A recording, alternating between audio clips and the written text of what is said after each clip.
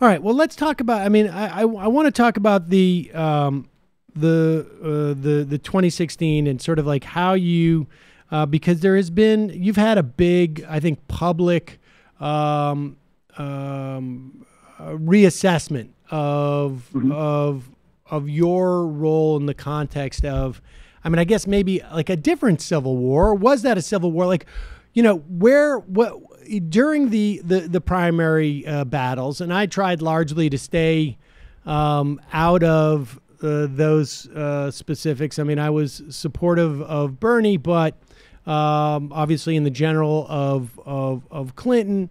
Um, but the, a lot of people got sucked into it super deep. You were one of those people. um, Yes, I was. just tell me about that experience. It, looking back on it now, uh, I can see how I did exactly what you're saying, which is get sucked into it. I, I've been describing it as a, as a family fight because largely, uh, I think a lot of people who were in the same place, or generally speaking, were looking for the same type of America, where people had more health care and there were fewer shootings and there was uh, less inequality ended up getting on different sides of two candidates, and it became, uh, as, you know, as we all know, so incredibly bitter. Um, but as as somebody who you know, grew up in a war, and, and once you're in the trenches with somebody, you, you stay in the trenches with them. I sort of became that person in the trenches with Hillary, and I just was not going to abandon her in the middle of the fight.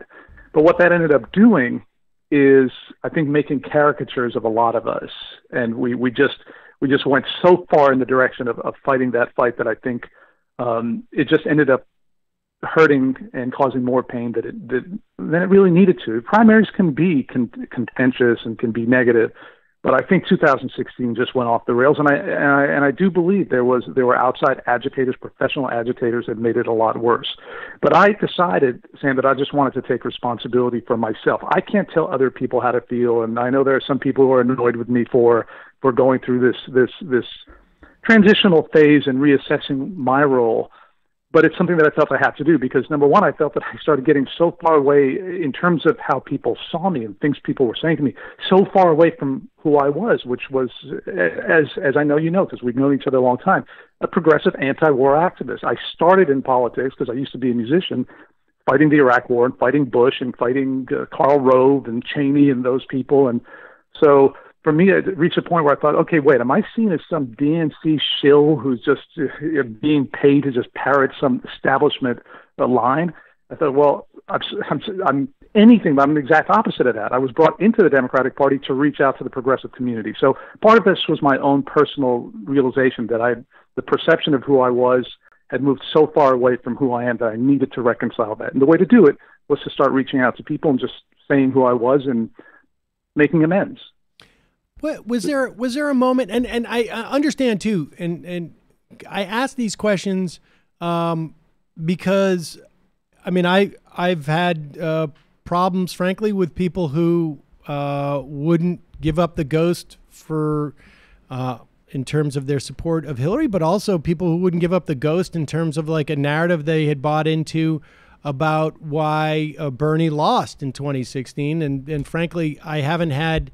Um, you don't get the opportunity. I haven't had the opportunity to talk to people who sort of like have had it, at least a uh, a change in perspective on how they're presenting it. So this, I, I mean, I I see this as a pretty valuable opportunity, just from a generic standpoint. Like what Mm-hmm. you know to understand um, how people get that immersed into it, because I, I mean, I'm sort of uh, mystified on some level how it gets because because I've seen your work for you know 15 years or so, more maybe.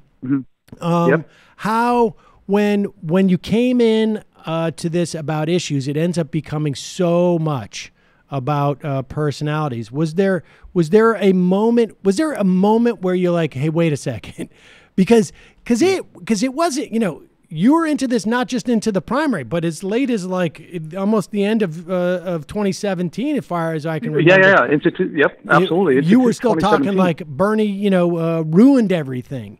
Um, Mm-hmm, uh, what what was it? Was it? I mean, was there a moment, or was it just over a period of time? It was a period of time, but it was it was it was driven by one singular purpose, right? Which is the the I knew how bad the, the, the, the Trump presidency would be, and it's even worse than I thought it would be because you know not having a single single Republican lawmaker have a shred of decency or patriotism or integrity um, maybe that was to be expected, but I think the combination of the two. So, so looking at called where it. we were headed, I called that. that? I called that early on. Yeah, yeah, uh, yes, you, you you did, and, and, and you were and you were right. And look, I knew it too. I've been fighting Right, Republicans Uh, since 2000, but but I think the, the the combination, the also to be perfectly honest, the the unwillingness of the Democratic Party leadership to fight back with the requisite intensity. Uh, I advocated walking out on the Kavanaugh hearings. Right. Uh, collectively walking out, and it was hinted at even by Democratic leaders saying, you know, this is a sham, this is a charade. And then I said, okay, well, if it's sham and a charade and you're saying that publicly, then why are you participating in it? So it's not just impeachment is another big issue that I have a criticism, but they're even back to Merrick Garland. So I have a lot of criticisms of the Democratic Party too and disappointments. But overall, what started happening was I just started looking forward. So here I am, 2016, still, you know, still stinging from the 2016 fight. It's 2017. Now we're looking towards 18, the, the midterms to 19, 20, and time is passing. I'm thinking, okay, what happens in 2020 if we're still fighting 2016, three and four years later? I thought this is going to be a catastrophe for us. It's just, you know, as you say, talking about digital civil war, we, we're going to have a mini civil war within the Democrats, leftists, progressives, et cetera. And I thought I have to do everything I can to prevent that from happening.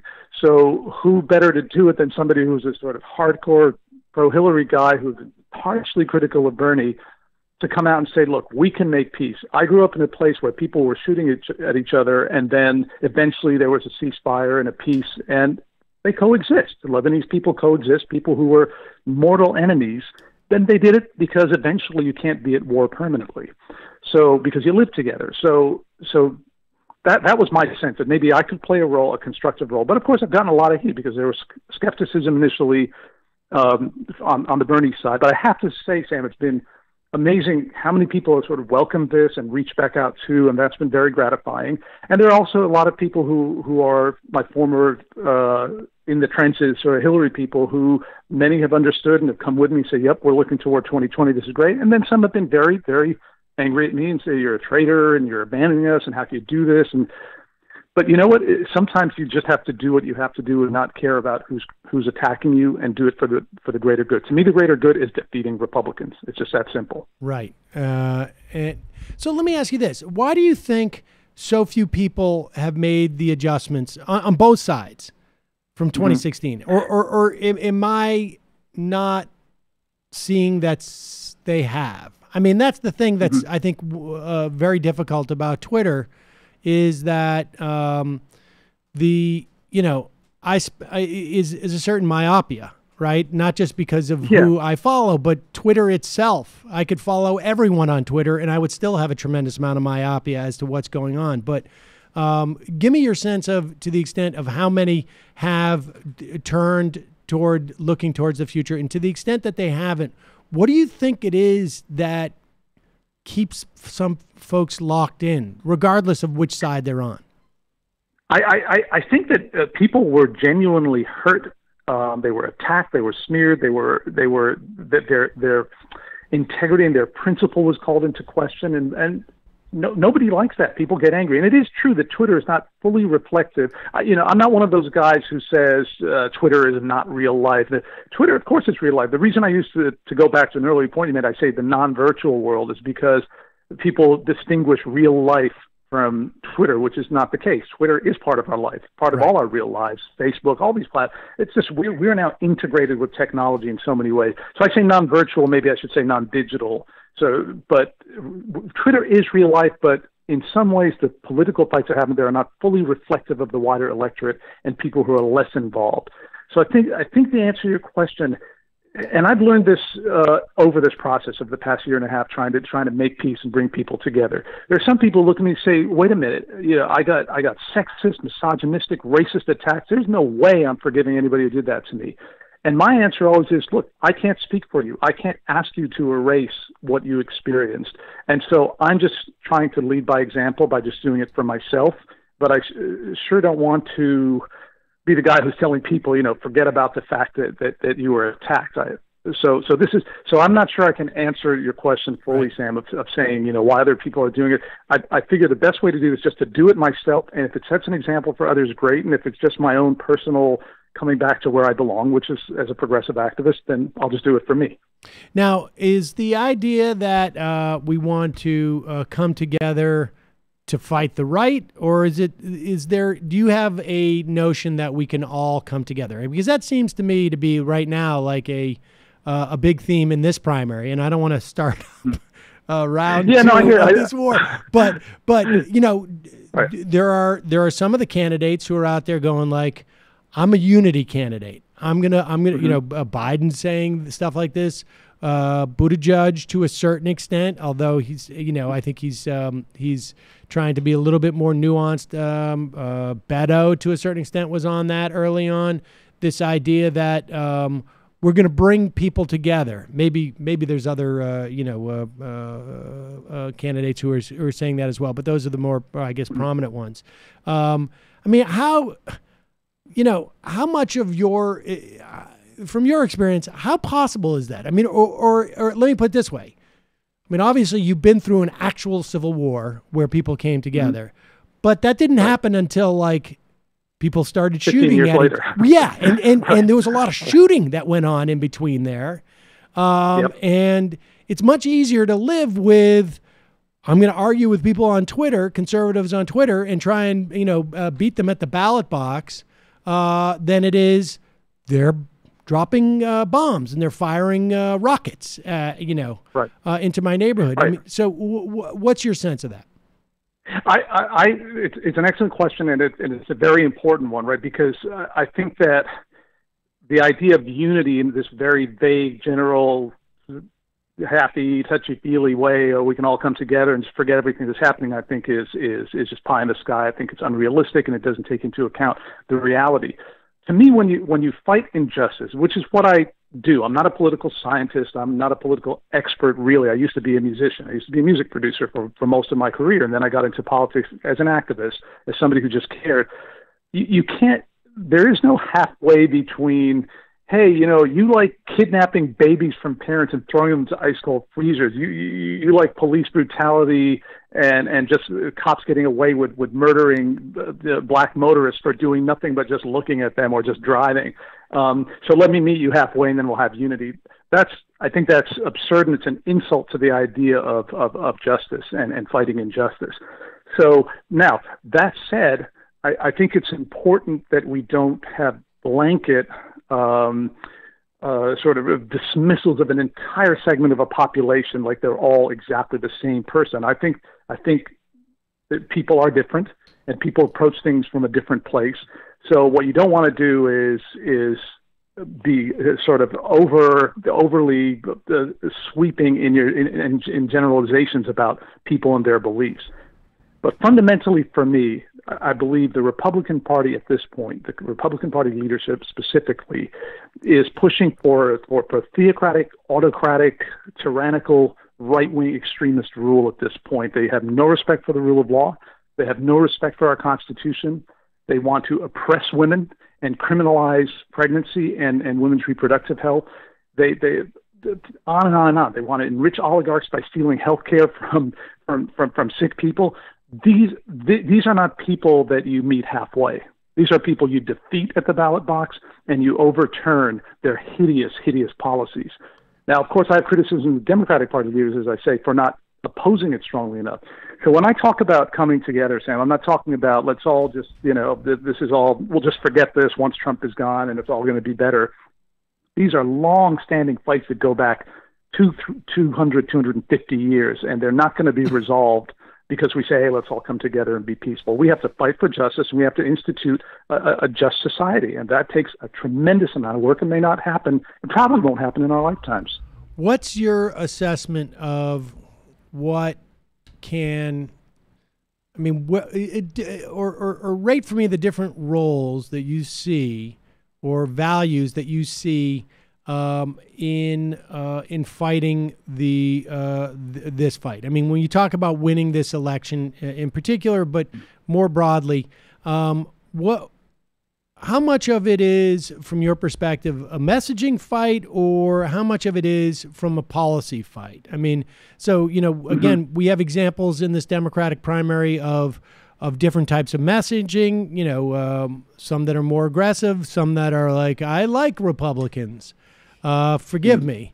Um, right and I mean, I think I'm letting my uh, bias against a certain candidate show. But um, be that as it may, those are different messaging, and there's also uh, tends to be somewhat aligned with that uh, aggressiveness in the messaging. How aggressive um, from a policy standpoint? Like how much do uh, mm-hmm. the candidates feel uh, the Democratic Party needs to offer material benefits to people's lives?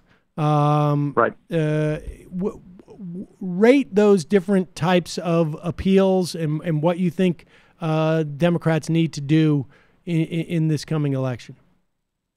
I, I, I, think that from the, of course, they're tied together. Um, the, the, the policy and the messaging and, and and, and even more than that, the posture. You know, one of the biggest problems I've had with Democrats is the posture tends to be defensive about their positions, even though their positions are more popular generally. If you look at environmental issues, climate, things like this, even guns. If you look at if, if you look at guns, if you look at the actual polling, and I write about it in Digital Civil War, I talk about the polls that show support, majority support for democratic slash progressive issues. So, but somehow Democrats always behave like they're on the defensive, like they somehow have to pander to this so-called, and again, another theme in the book, this, this so-called real American, this sort of rural, white, church-going, gun-toting American who's the, the, the so-called quintessential American. If we appeal to them, we're going to start winning elections. And that's the way Democrats constantly think. They play into these right-wing narratives. So pushing good, smart policy is a crucial part. If you talk, talk about Medicare for all, if you talk about affordable college, if you talk about $15 minimum wage, all these, the Green New Deal, these are all excellent policies. Some of them need to be worked through by experts to see the, how practical they can be, how they can be implemented. But, but putting forward good progressive policy is very important. But the, the, the corollary to that is understanding how the media and messaging system works in America. One of the, one of the things that Democrats are so weak on, generally speaking, candidates, and why Democrats lose. We win some elections, but overall, the country has moved further, further, and further to the right. So when I look at the, the sweep of the past 20 years, whether or not Obama won, whether or not the, the midterms, you know, we've had some moments in which we've had an electoral victory, but generally speaking, we have gone backwards. Roe, Roe v. Wade is uh, uh is about to be overturned all our rights are going away. We have uh, autocracy with Donald Trump as president. So I think the answer is put forth excellent progressive policy, have the courage of your convictions, but also understand how communications and media move around. There is no liberal media, and right wing media is, is programming 30% of the population.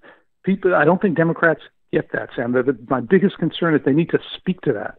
So it's, it's a combination of all those things and more, of course, and, and just the courage of your convictions who do you perceive your audience? I mean, and not just specific. I'm not just saying you, but but but but people who are situated like you uh, on, um, you know, on social media. Like like wh- like what is the um, I, I'm I'm totally with you that Twitter is real life. Of course, it's real life. Mm-hmm. Everything that yep. we go through is real life. Um, exactly. Um, and and Twitter has some very real applications in the context of uh, of of political fights. What do you perceive uh, it to be, and what do you perceive your role in it?